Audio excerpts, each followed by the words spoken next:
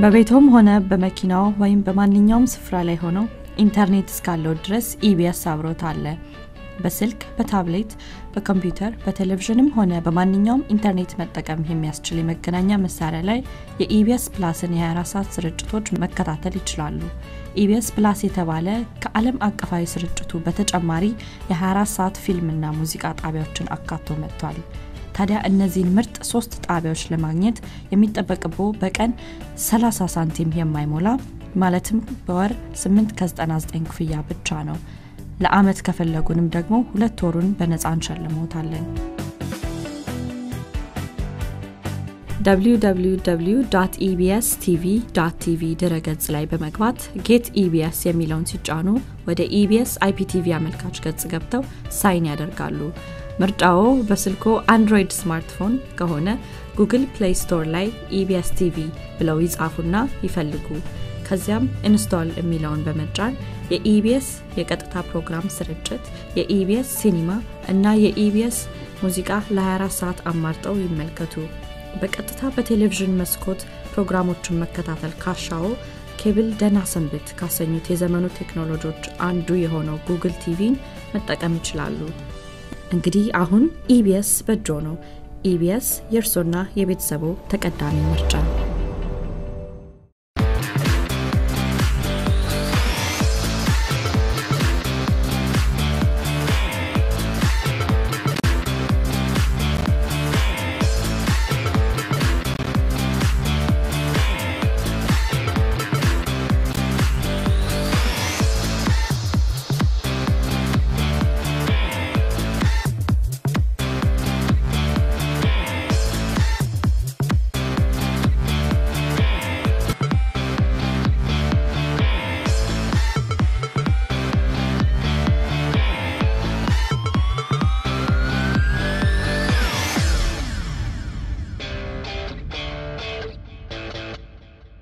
ሰላም ጤና ስጥልኝ ተመልካቾቻችን፣ ሰለሞን ሙልጌታ ካሳ ነኝ። ሳምንታዊ ቴክቶክ ሶልመን በኢቢኤስ ተጀምረዋል።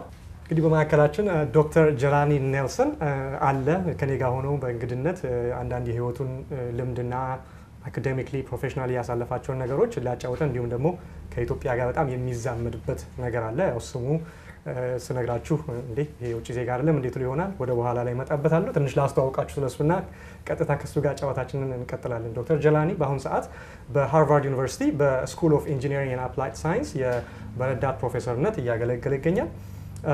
ሶስት ዲግሪዎቹን በሙሉ እንግዲህ በአሜሪካም ይሁን በዓለም ላይ በጣም ፕሬስቲጂየስ ወይም በጣም ከተከበረው የቴክኖሎጂ ኢንስቲትዩሽን ኤምአይቲ ማሳቹሴትስ ኢንስቲትዩት ኦፍ ቴክኖሎጂ ሶስቱንም ዲግሪዎቹን ከዛ ተቀብሏል። የባችለር ኦፍ ሳይንስ ዲግሪውን በ2005 የማስተር ኦፍ ሳይንስ ዲግሪውን በ2006 ከዛ ደግሞ የፒኤችዲውን በ2011 ዓ ም ተቀብሏል። ሂስ ፈርስት ዲግሪ ደብል ሜጀር ነው ያደረገው እንግዲህ በማቴማቲክስ እና ኮምፒውተር ሳይንስ ማስተርስ እና ፒኤችዲውን ደግሞ በኮምፒውተር ሳይንስ ጨርሷል ማለት ነው። እንግዲህ ሪሰርች ወርኮች አሉት። ዋና ፎከሱ ላርጅ ዴታ እና ሃይ ዲሜንሽናል ዴታ ሴቶችን ፕሮሰስ የሚያደርግ አልጎሪትም እንግዲህ በመስራት በሱ ላይ ነው ሪሰርቹን እየሰራው ማለት ነው። ከዚህም በተጨማሪ ብዙ አዋርዶችን ተቀብሏል። እንግዲህ ለመዘርዘር በጣም ብዙ ናቸው። የተወሰኑትን ለመቀበል ያህል ለመጠቆም ያህል ኤንኤስኤፍ ካሪር አዋርድ የሚባል ተቀብሏል። እንዲሁም ደግሞ ጆርጅ ኤም ስፕራውልስ አዋርድ በ2011 ቤስት የሆነ ዶክተራል ቴሲስን በመስራት በዚህም አዋርድ ተቀብሏል ከኤምአይቲ። ከዚህም በተጨማሪ ደግሞ በአይቢኤም ሪሰርች ውስጥ በመሳተፍ ፓት ጎልበርድ ሜሞሪያል ቤስት ፔፐር አዋርድን ተሸልሟል። ከዚህ በተጨማሪ ፓተንቶች እና ሌሎችም ብዙ አዋርዶች አሉት። ለማስታወቅ ያህል እንግዲህ ይሄን ያህል ነው። ዶክተር ጀላኒ ያደገው በሴንት ቶማስ የሚባል የአሜሪካ ግዛት አለ። አይላንድ ነው፣ ደሴት ነው። በዛ ነው ያደገው። ነገር ግን እድሜው ለኮሌጅ በሚበቃ ጊዜ ወደ ዋናው ወደ ሜንላንድ ወይ ወደ ዩኤስ በመምጣት እንግዲህ የከፍተኛ ትምህርቱን ቅድም በነገርኳችሁ ኤምአይቲ ተከታትሏል ማለት ነው። ዶክተር ጀላኒ በእናቱ ኢትዮጵያዊ ነው። ለዛ ነው ቅድም ይዛመዳል ከኢትዮጵያ ጋር ያልኳችሁ። በአባቱ ደግሞ አፍሪካን አሜሪካን ነው ማለት ነው። እንግዲህ ከዚህ በተጨማሪ ዶክተር ጀላኒ ወደ ኢትዮጵያ በጣም ብዙ ጊዜ በተለይ ሁለት ጊዜ በአመት በመሄድ ለሃይ ስኩል ተማሪዎች የኮድ ኮርስ የሰመር ካምፕ በማድረግ የኮድ እንዴት እንደሚጻፍ የኮምፒውተር ኮድ ያስተምራል። ዌብሳይትም አለው አዲስ ኮደር ዳት ካም ብትሄዱ የሚያስተምራቸውን ትምህርቶች አዲስ አበባ ሲመጣት ማየት ትችላላችሁ። ከዚህ በተጨማሪ ደግሞ በአምስት ኪሎ እና በመቀሌ ዩኒቨርሲቲ የኮምፒውተር ሳይንስ ዲፓርትመንት ሌክቸር ሰጥተዋል ለ83 ለሚያክሉ ተማሪዎች ማለት ነው። በዚህ በሰመር ላይ መጥቶ ከሚያስተምራቸው ተማሪዎች ውስጥ የተወሰኑት ደግሞ አዲስ አበባ መጥቶ ማለት ነው ስኮላርሽፕ አግኝተዋል። በጣም ፕሬስቲጂየስ የሆኑ ዩኒቨርሲቲዎች ኤምአይቲ፣ ሃርቫርድ፣ ፕሪንስተን፣ ኮሎምቢያ፣ ብራውን፣ ትሪኒቲ ኮሌጅ፣ ጃክብስ፣ ኤንዋዩ፣ አቡዳቢ እንዲሁም ሌሎች ብዙ ኮሌጆች ውስጥ ስኮላርሽፕ ያገኙ ተማሪዎችም አሉት ማለት ነው ኮርሱን ከሚሰጣቸው እንግዲህ ዶክተር ጀላኒ ከኔ ጋር ያለው የህይወት ጉዞውን ለመጫወት ፈቃደኛ ሆኖ ስለመጣ በጣም አመሰግናለሁ ዶክተር ጀላኒ። ስለጋበዝከኝ በጣም አመሰግናለሁ። ቴንኪው ዶክተር ጀላኒ። እንግዲህ ወደ ቀጥታ ወደ ጨዋታችን ነው የምንገባው እና ከአካዴሚክ ላይፍ ነው የምጀምረው። እንግዲህ ወደ ጥያቄያችን ከመግባታችን በፊት ዶክተር ጀላኒ አማርኛ ትንሽ ትንሽ ይሰማል፣ ለመናገርም ትንሽ ትንሽ ይናገራል። ስለዚህ ካንቨርሴሽኑ በብዛት እንግሊዝኛ ኢንቮልቭ ያደርጋል። ስለዚህ ሆፕፉሊ የሚናገራቸውን ቁም ነገሮች ለመጨበጥ ትችላላችሁ ብዬ ተስፋ ያደርጋለሁ። ከአካዴሚክ ላይፍ እናወራ። መቼም ቅድም እንዳልኩት ሶስት ዲግሪ ነው የወሰድከው፣ በጣም ወጣት ነህ እንግዲህ እና እንዴት ነው ዋትስ ዩር አካዴሚክ ላይፍ? ወደ ኮምፒውተር ሳይንስ እንዴት ልትገባ ቻልክ? ከዚህ በተጨማሪ ሶስቱንም ዲግሪህን from one of the most prestigious school in, in, in the world to say in technology, MIT. I guess I first got interested in computer science and math. Well, computer science, let's say, from video games actually. So I, ha- I used to play games since um, since I was four years old. I, had, I got a Nintendo from as a gift, and I kept I kept going. And um, when I was 10 years old, I had internet access at home, and I used to visit websites and then click, you know, right click and view source, and I would see the HTML, and I realized that HTML is what you can use to make websites. So I started learning from viewing sources sources of various websites, and then I remember when I was 12. Uh, with, with my parents, we went to the States and I bought this book from a bookstore in HTML. And I took it home with me. We didn't have bookstores that sold such books uh, where, I, where I grew up. And I studied that. And again, when I was 16, we went to the States. I bought a book on C, C programming, bought that, brought it home, and then I studied that as well. And so I really enjoyed that. I always enjoyed math class ever since I was a little kid. And it's funny, I, I had never heard of MIT. It's, I was very, um, I was somehow in a bubble. There were, a lot, there were a lot of things that I didn't know. Um, and my dad, when I was a senior in high school, he bought a college ranking magazine and he gave it to me. And he said, you know, you should look at this and, I, and, and decide a school and start applying. And I opened it and I saw, you know, at that time, MIT was ranked first in both math and computer science. So I applied to MIT and then I got in, so I went. You got But I- accepted. I got it, So you yeah. must have been a But, uh, nerd. So what was the entry criteria? I mean, you got a good SAT or what was it? Um, yeah, so they, you know, you have to submit your SATs, SAT2s. You have to write essays. You have to get recommendation letters. Um, it's been a while, so I don't remember all the details, but yeah, I'm- went through the, you know, the standard uh, application. I think I applied early. They had an early application. uh, So it was a full scholarship? no, it wasn't. No. So MIT actually, um, they don't give academic. They don't give scholarships for academic performance. Only need-based scholarships.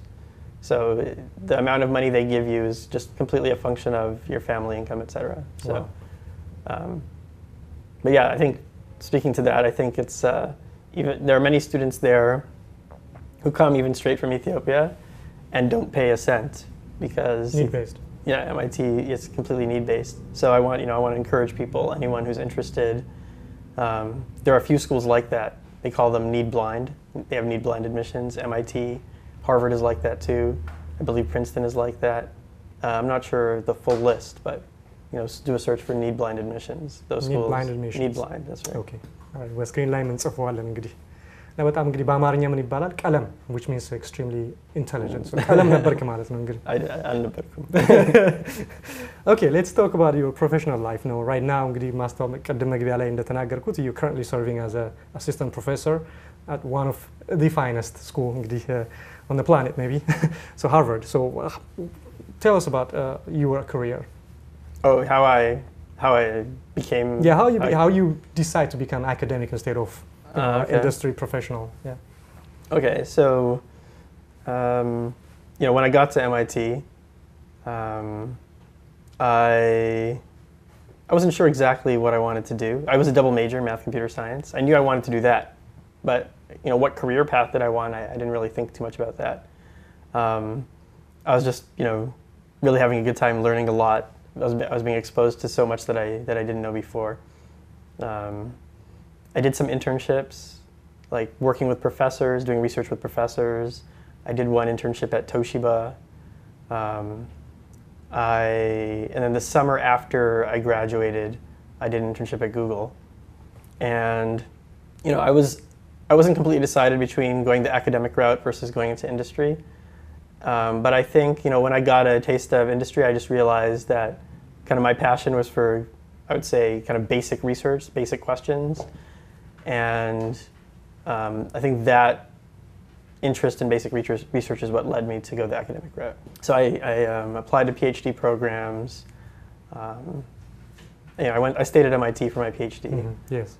Uh, I really got into algorithms, so um, Yeah, we're going to talk about we'll that. talk about that. Yeah, Yeah. but so um, yeah, so when I did my PhD, uh, I did some more research internships focused on my P- my PhD research area, um, two at IBM and one at Microsoft, and you know my last year of the PhD program, I applied in parallel. I applied to some academic positions, like, the, like to Harvard, for example, but I also applied to some research labs like Microsoft Research, IBM Research. Mm. They have labs there that function a lot like academia. It's it's like it's like you're in an academic bubble inside industry, even though it's part of a company.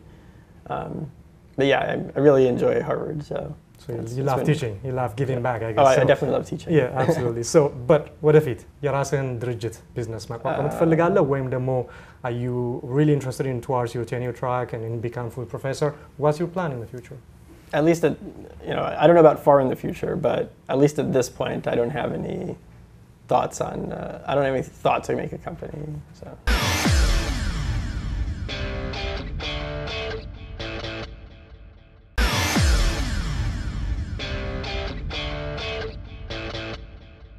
እንግዲህ ስለ ፕሮፌሽናል ላይፍህ አውርተናል። እንግዲህ በአሁኑ ሰዓት በፕሮፌሰርነት ነው የምታገለግለው። What kind of suggestion and advice would you give for students who want who are aspired by you know science and computer science and engineering and to become professionals or a- academics? Uh, what do you advise? Any suggestion, advice, resource that you can give? I know you gave one resource how to you know how to Mhm. apply for MIT. Yeah. But any any any any suggestion, advice, resource? Um, one thing I can say, one thing that helped me a lot um, when I was an undergraduate was to train myself in kind of programming slash algorithms. So there are lots of websites. One, one thing that's nice about you know computer science compared with say many other fields is many other fields like let's say you want to let's say you want to do um, form of engineering, okay, civil engineering or some other form of engineering you know, it's really hard to just go out and practice building bridges or roads. You know, you know, you need raw materials to do that. You need money. You need resources. But with computer science, all you really need is access to a computer with, with an internet connection, and you can go and learn things online and then practice on your own computer. So there were lots of websites that I found when I was an undergrad that had thousands upon thousands of problems that you could, you know, train yourself solving. And, and there were also some competitions that were that revolved around these problems. So I, um, I used to spend a lot of time on those websites, really just training myself. And I think, um, actually, actually, the T-shirt I'm wearing right now is, is from one of those con- one, one of those uh, websites. Okay. Yeah, It says so- top coder. Top Coder, Okay. yeah. So that um, there are several, several sites. Top Coder was a really nice one. There are several others. Um, so I think if you go to, if anyone watching this goes to addiscoder.com, at the very bottom, I have several links to a lot of these websites. Resources Yeah, these resources you can go and train. Um, for free, right? Oh, they're all they're all for free. In fact, some of them even pay you if you do well. Yeah, um, right. So those, those websites, you know, they assume you know the basics of programming, Mhm. and then they, they really like train you and make you, you know, more. They build mastery, and if you just want to start off learning programming, you know, from the beginning, there are also many resources online that you know help you learn how to program. Wonderful. So while we talk about IT and then you know this computer science topic, Yeah. I'm going to ask you on something that you are you know good at, right? So I'm going to ask this on behalf of my viewers. So I mean, they keep hearing algorithm and then you know computer programming. When you enter something on the computer, it spits out you know some result. You access internet, you watch videos, you solve complex mathematical you know problems. What is this? So what is algorithm? I, I think me and you were talking about earlier that there Yeah. is maybe an Amharic term for it, Salit, but uh, is like calculation. Algorithm is uh, uh, it comes from calculation, but yeah. yeah. But what's algorithm, and then how does a computer programming yeah. work to solve any kind of issues at this point, right? So mm -hmm. can you mm-hmm. explain this in a, in a layman's term, back sure. Yeah, sure. Uh, okay, so an algorithm is just a procedure for carrying out some task. You know, it's not even you don't need a, a computer, a personal computer, to to to carry out an algorithm. Um, so, you know, the usual go to example I use, and it's a popular example people use to describe algorithms, is the following. So, usually an algorithm takes as input, you know, takes, it, takes some input and produces some output. Okay? So it solves some problem like that. So here's an example of a problem. Okay? The input is I give you, you're the algorithm for me, I give you a phone book, and then I also give you a name. Okay? And then you have to give me back that person's number or tell me that they're not in the phone book. Okay? So there are many ways of solving this problem and you know many algorithms that solve this problem. An algorithm is just a way to solve a problem. So you know one algorithm is you open up to page one, you look for the name, oh, it's not there. You flip to page two, it's not there. You flip to page three, you keep flipping until finally you find it, and then you say, okay, this is the number. Or maybe you pass it and you realize, okay, this person's not here. So if the, if the phone book is a thousand pages, you know, if you're unlucky, um, it can take you a thousand steps. Okay. There's another algorithm called binary search, right? No one would actually search for a name in a phone book like that, right? So there's another algorithm called binary search, which does which operates as follows. So you take the phone book, you open it to the middle, page 500. Okay, let's say I'm searching for Nelson. You're searching for my name. You open to page 500, and when you open it, you see uh, the last name Melrose. Okay, and then you say, "Oh, uh, I haven't I haven't gone far enough. It must be in the second half of the phone book." So you can essentially take the first half and throw it away. You can take that phone book, rip it in half, and just throw away the first half. And now you're left with a phone book with 500 pages, right? Then you can do the same thing to that 500 page phone book. Open it to the middle. Then you see a name, you know, Peterson. You're like, oh, I've gone too far. You can rip it in half and throw away the second half. Now you have 250 pages. And if you do the calculation, you're guaranteed to find, you know, anyone's name with this procedure in at most 10 steps, right? So as opposed to 1,000 steps, which is algorithm one, this algorithm two is taking 10 steps. And as someone who studies algorithms as a field, what you, what you do is you look at various computational problems and you try and come up with an algorithm that's as efficient as possible, like takes as few steps as possible. quickest Yeah, በአጭሩ the ቶሎ quickest. በአጭሩ ችግሮችን መፍታት መቻል ነው እንግዲህ Oh yeah, like, just you can just simply try and solve a problem in a very simple step or in a shorter step, right? Yeah, a few few number of steps. So Befitternet. yeah, Befitternet. Yeah, there yeah. you go. So computer programming is, I, I think, algorithm is the underlying foundation for any kind of computer programming. Is it fair to say? I think yeah. I think algorithms really plays a very important role in computer science. I mean, algorithms is the heart of computation itself. Wonderful. So I hope. Uh, እንግዲህ አልጎሪዝም እና ከዛም በአልጎሪዝም ላይ ደግሞ በመመስረት ስለሚጻፉ ኮምፒውተር ፕሮግራሞች ሌሎቹ ቤዚክሊ the rest are pretty much technical right depending on the programming language you have to learn the syntax you know C++ Visual Basic Java whatnot Yeah. but the foundation of coming up with that problem solving skill as you said doesn't even need a computer Yeah, right. That's right. so that, that's really well said. So now let me take you to Ethiopia because I, I think that's what want to hear because ሳስተዋውቅ ማንም ሰው ኢትዮጵያዊ ማልመሰላችሁ ነበር። ግን እንዳልኳችሁ በእናቱ ኢትዮጵያዊ ነው ጀላኒ ዶክተር ጀላኒ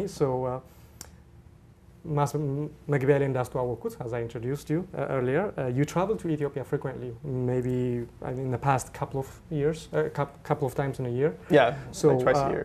and uh, you you particularly invest on high school students, right? Yeah, so I did one. So I guess in 2011, I taught this course. Uh, it was hosted at Amis Kilo, um, co-organized with someone there named Naul. Um, but yeah, it was it was at Amis Kilo, but the students were high school students. High school students. They were high school students. And then you're basically teaching them, you know, how to develop al- algorithm, and then on any particular programming language, or So I, I almost all the students didn't have any programming experience. So I, I, ch- I chose a programming language that I thought was you know the easiest to pick up from Which not is? having background. Uh, I, I chose Python, in that Python. class. Okay, it's open source too, so it can be easily, you know, found and installed, I guess, right? That- yeah, that's true. It is easy, yeah, it is easily installed.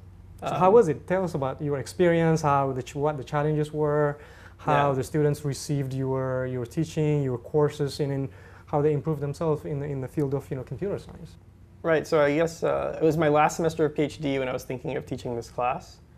Um, you know, I was I was going to have a full summer break between the end of PhD and the beginning of my of, of working. So I thought I wanted to go visit Ethiopia, and um, I decided to. And then, kind of a couple weeks later, I said, "Oh, if I'm going to be in Ethiopia for such a long time, I was there for six weeks. You know, let me think of something to do while Was I'm that there." the first time? It was not my first time. Okay. No, it was not my first time, but it was it was the first time I was there for such a long time. Okay. Yeah. Um, so I was thinking, you know, let me think of you know what, what what are the things I can do while I'm there. So I started brainstorming. Eventually, I came to this, uh, you know, maybe teach a high school class, and um, I was very lucky that various people were willing to help me in, in doing this. So I mentioned Naul was helped me organize things because he was at Amis Kilo. He was lecturing. He was also doing his master's at the time. Um, I, you know, I, I cold called I think Sheger FM and Afro FM. They both were willing to, you know, advertise the Take the course for free out, to yeah. get the word out. And I think Naul even went on Afro FM and did an interview to get That's the word out and also just v- through various connections, a friend of mine, uh, Kale Bayalo, his his relative was uh, like a kind of a college recruiter who was there and who had lots of connections to high school, so she helped me advertise it too. Wonderful. And I had this website. So yeah, the, um, actually getting the word out because I was in Boston, right? I was I was not in Ethiopia. Get, just Way getting the word out Yeah. um, was the hardest part, definitely, because I'd never done something like this before. I had no connections. Um, I was essentially just, you know, hoping to run into people who could help me make it happen. Um, and yeah, luckily it, it, it worked out. How was it the turnout? Um, so, you know, they, they gave me a room, Amis Kilo at first, they gave me a room that held 50 students. But then the number of students who signed up were, it was probably close to 200 or Wow. something like that, who signed up online. Yeah. And then, in addition to that, another friend of mine, his uh, cousin, um, he's a his my friend's cousin is a lecturer at uh, Addis Ababa University in Lideta, Okay. and through some connections of his, he found like another group of you know 150 to 200 students who were interested. But at that point, I told him like, Overflow. yeah, it's just I don't have any room anymore. So you you received all the So- 350. no, so th- so I, I told him that I didn't have room for, for those students. I, unfortunately, I mean, I wish I could take you know everybody. It's just I just had hard you know the size of the room. Is, yeah, yeah. so yeah, so um, the day one, you know, of, the, of everyone who signed up online, you know, some people signed up online but didn't actually come. So the number of people who actually came was probably 120 or so the first day, or somewhere in the low hundreds, um, hundred something. Uh, and then they gave me a bigger room just day one because they couldn't fit. And then even in the bigger room, people were standing in the back. Um, and then, you know, finally at the end, I started taking attendance. Finally at the end, the number of people who stayed the whole time, because it was a four-week class, and it met every single day. Well, five days a week. Five days for five days a week for four weeks, two and a half hours a day. That's intense. Yeah, so you know, some people, I guess, it was like too too big of a time commitment. So it, it narrowed down eventually to 83. 83 people Committed- finished- committed yeah, students. stayed, you know, committed students. Um, How was it? So what did was- they get from that? And then what was what was the next step for them? so the next step, so okay, so they're all high school students. There might have been, I think there was one eighth grader, in fact, too, but mostly high school students. Um, so I introduced them to, to programming, to Python, and then also started teaching algorithms. I, you know, I really only taught Python because I wanted them to know what programming was before I taught algorithms. Yes. Um, and the way the class was structured, each day, one hour would be me lecturing at, at the blackboard. And then um, for an hour and a half after that, I would have them in the computer lab solving problems. So I made a bunch of exercises for them, and they would have to code things up and, wa- and watch their code run on the, Yes. uh, for that problem. And I, I was very happy, you know, very grateful that Amis Kilo was willing to provide these facilities. I mean, they were very nice computers. I think they gave us, in fact, there's like the usual um, computer lab that the students use, the, the college students use, Yeah. but then there's like the faculty computer Wow. lab with like the brand new computers. The et cetera. high-performing ones? Yeah. So, and we got they gave they let us use those computers. That's which- amazing. yeah, I was that's, really that's yeah. I was really happy. Um, በዚህ አጋጣሚ አምስት ኪሎ ዩኒቨርሲቲን በተመልካቾች ስም ልናመሰግን እ, Oh, yes. እፈልጋለሁ። በጣም Yeah. በጣም በጣም ደስ የሚል ነገር ነው። yeah, All right, very- go on. Yeah. very thankful. Um, yeah, so you know, toward the so I, I did this for four weeks, and then I think the last day I thought, you know, in addition to just wrapping up the class, I wanted to give them some tips about, you know, many of them were interested in applying to U.S. universities or abroad, but um, not everyone knew kind of the process. Uh, you know, even the timeline, like when are you supposed to, apply, what tests are you supposed to take, and when do you take them? So I spent a little time in the last lecture just telling them about that, and you know, a lot of them also, I told them they're free to contact me. Some of them, you know, some of them add me to Facebook or they, they email me with questions, any question, computer science questions, college-related questions. Many of them asked me if, um, if I can read their essays, college essays, and provide them some, some comments. So, yeah, I mean, um, and many of them ended up applying to, to schools and getting in and getting, you know, good scholarships. So that was really great. And That's also so the, wonderful to see to watch. yeah, it was, Yeah. it was fun, yeah. I And mean- also the last day, um, we even had a, a mini kind of graduation ceremony where the, um, uh, the head of the electrical engineering department, as well as the, at that time, the head of Amis Kilo itself, the entire campus, they were both were there. And we kind of called the students up one by one and gave them certificates. Um, so that was, that was also nice. That's wonderful. And then besides that, you've also uh, lectured for the university students, right? At Oh, right. Amiskilo, uh, the Yeah. science, fac- uh, I, Right. you know, science faculty, and also uh, Mekelle University, right? No, uh, yeah, so Mekelle University. So it's um, this school, Mekelle Institute of Technology, Yeah. which I think now is part of. It used to. It started off as kind of its own independent Okay, now it's, institution, it's, and now it's, I same think body. a part of uh, Mekelle University. Okay, what was what level was uh, the, you know the? So the that was not a class. That was just like a, a lecture that Just I a gave, lecture in a a research hall. lecture in a hall. Yeah. Okay, how, how did it go? How was it? How was your Yeah, they were- experience? Yeah, it was, it was great. I enjoyed it.